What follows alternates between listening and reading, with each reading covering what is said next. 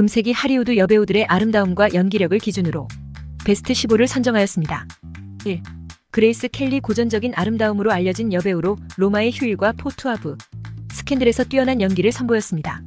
2. 오드리 헵번 우아하고 고급스러운 매력으로 유명한 여배우로 프랑스에서 온 여자 로맨틱인 더 러프 등의 작품에서 빛났습니다. 3. 엘리자베스 테일러 독특한 아름다움과 강인한 성격으로 유명하며 클레오파트라, 카스리노 등의 대작에서 뛰어난 연기를 펼쳤습니다. 4.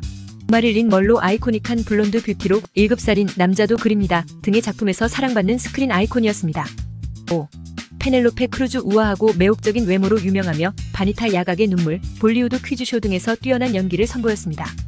6. 안젤리나 졸리 독특한 아름다움과 카리스마로 유명하며 미스터 앤 미세스 스미스, 말레피센트 등에서 다양한 매력을 선보였습니다.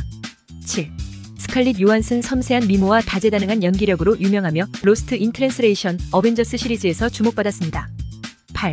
샤를리즈 테론 강렬한 외모와 우아한 미모를 겸비한 여배우로 몬스터 아이언맨 2등의 작품에서 뛰어난 연기를 펼쳤습니다. 9.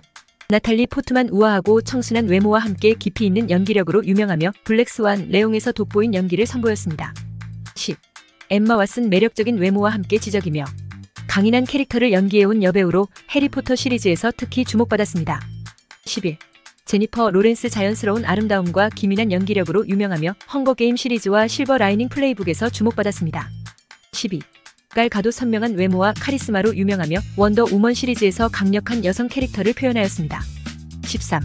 마고 로비 아름다운 외모와 독특한 매력으로 유명하며 우먼 인 더 윈도우 할리 퀸의 해방 등에서 주목받았습니다. 14.